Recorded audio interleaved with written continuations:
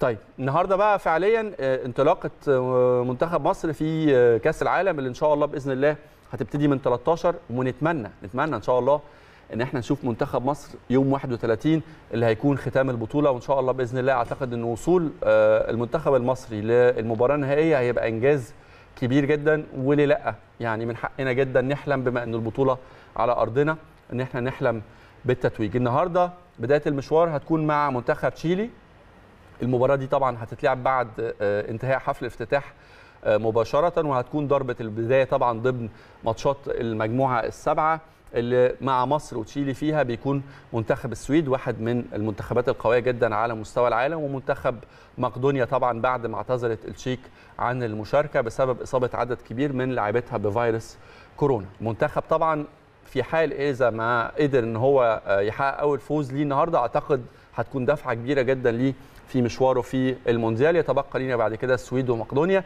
السويد هتبقى ماتش أو هيبقى ماتش مش سهل لكن إلى حد ما يعني ممكن نحاول فيه. وطبعا نختم ماتشاتنا في المجموعة السبعه مع مقدونيا.